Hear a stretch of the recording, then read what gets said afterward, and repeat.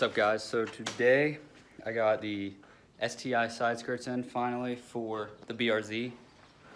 So we're gonna go ahead and get those on. It shouldn't be too hard. All we have is seven clips, one, two, three, four, five, six, seven, that hold this thing in. It's pretty basic. Under the bottom here, there's some rubber grommets that I just had to pop out. So I've already went ahead and popped out the ones I needed to pop out. So all I have to do now is I already prepped the surface so that the 3M tape can stick, is go ahead and stick this thing up. And I think it should be that simple.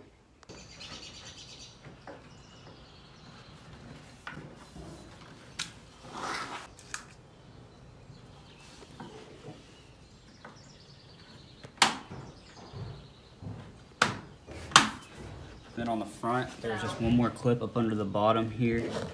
I don't know if you can really see it or not.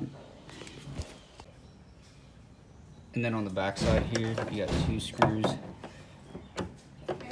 that screw into these clips. That just sits along this piece of the, uh, the body here. But that's pretty much it. I mean, there's 3M tape, I take that off and then just press it up against the car. Other than that, it looks pretty good. It went on pretty clean. It looked good. No. So I'm just gonna go ahead and do the other side and then I'll show you what the car looks like with both sides done. Okay, so now the side skirts are both completely done.